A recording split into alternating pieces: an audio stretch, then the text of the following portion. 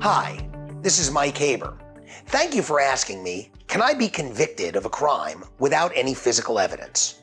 The answer is yes. You can be convicted of a crime without any physical evidence being entered in your case.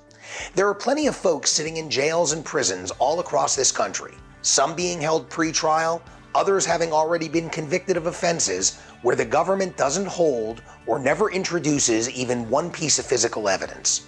Here is an example of how this can happen. You and I are driving down the road in different cars. I cut you off. You get aggravated. You honk your horn. You pull close to my bumper. You act aggressively to get my attention, and you do.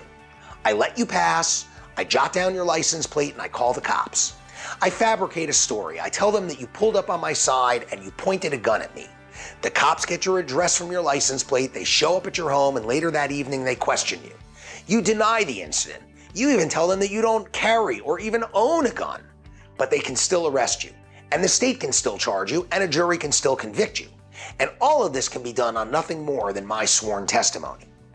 In the hands of a seasoned prosecutor, word of mouth can be the kiss of death. But when word of mouth is the only evidence, and when it's challenged by a skilled and experienced criminal defense attorney, well, then reasonable doubt is right around the corner. Thank you for your question. I appreciate your having asked it. I invite you to ask me more.